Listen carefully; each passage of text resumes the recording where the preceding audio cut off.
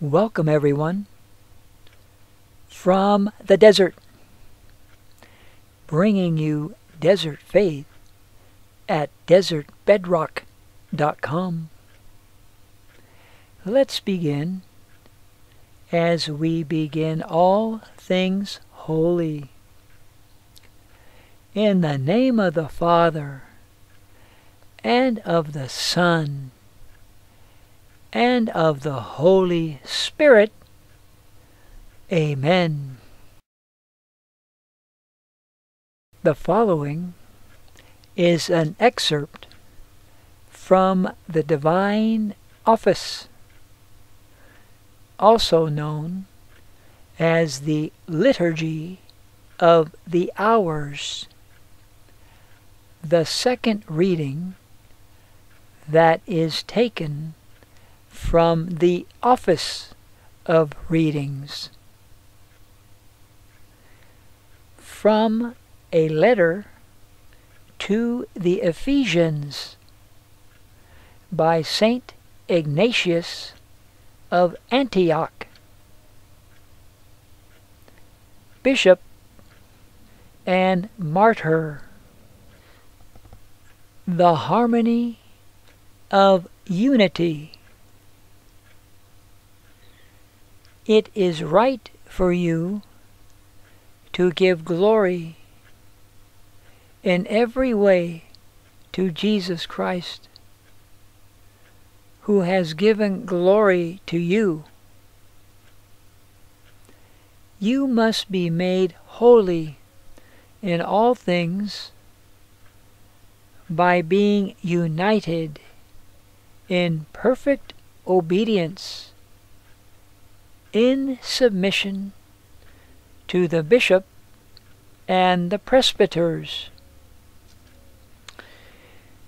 I am not giving you orders as if I were a person of importance.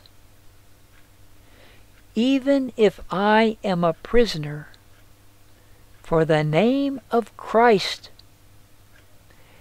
I am not yet made perfect in Jesus Christ.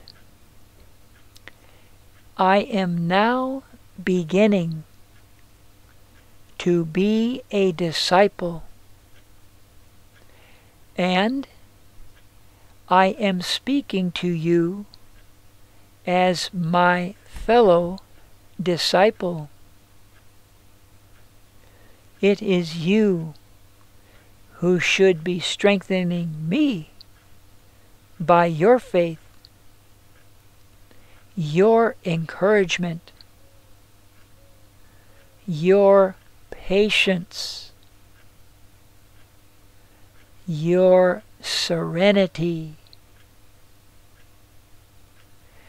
But since love will not allow me to be silent about you, I am taking the opportunity to urge you to be united in conformity with the mind of God. For Jesus Christ, our life, without whom we cannot live, is the mind of the Father.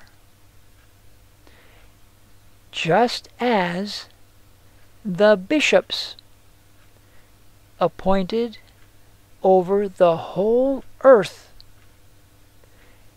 are in conformity with the mind of Jesus Christ.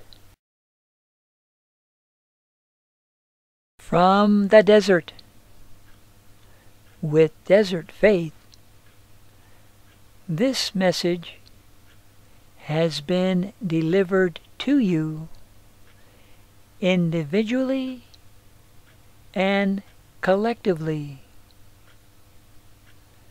Each and every syllable,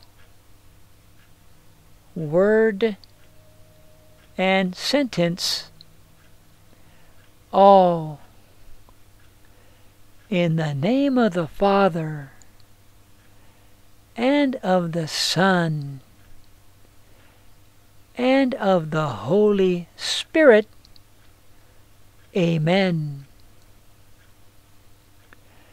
In nomine Patris et Filii et Spiritus Sancti.